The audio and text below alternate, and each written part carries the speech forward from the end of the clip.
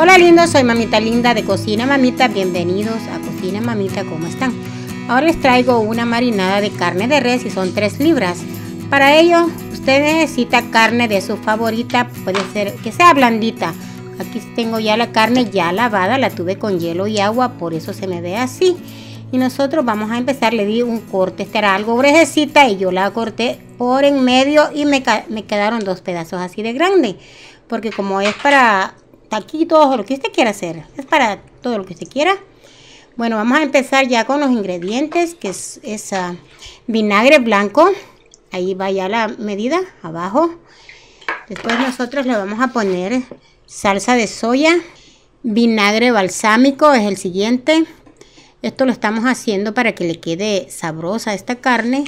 Aquí tengo ajos, dientes de ajo fresco, le vamos a poner 3 a 4, ahí depende como a usted le guste. Eh, le gusta cargadito de ajo, le va a poner más, pero yo le estoy poniendo lo suficiente. Esto es suficiente para que le quede sabroso. También le vamos a poner lima, limitas verdes bien exprimiditas. Vamos a utilizar este aparatito para ello. Ahora tenemos aceite de oliva, una bonita cantidad para que la carnita no nos quede tan seca. Vamos a utilizar sal, un poquito, y si necesita más, le agregamos más después. Tenemos ya pimienta negra, ajito granulado o en polvo, el de su preferencia. Aquí tengo chile rojo machacado que también le da un toque exquisito a la carne, orégano y lo vamos a machacar bien con las manos para sacarle más sabor y que nos quede todo esto con bastante sabor. Aquí tenemos ya cominito en polvo, un poquitito le vamos a poner, paprika, que no los puede faltar tampoco, y ahorita le vamos a dar una meneadita para ver qué más le vamos a seguir poniendo. Aquí tenemos jengibre en polvo, también le va bien a esta marinada.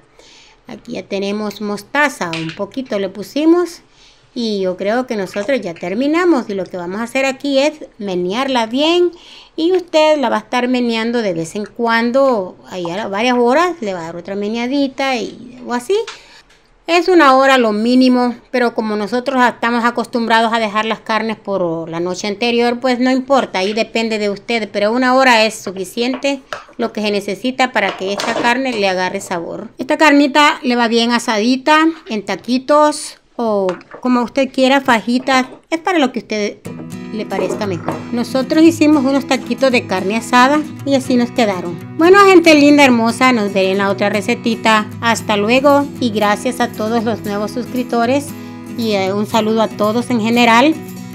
Y no se olviden compartir, suscribirse y darle un me gusta.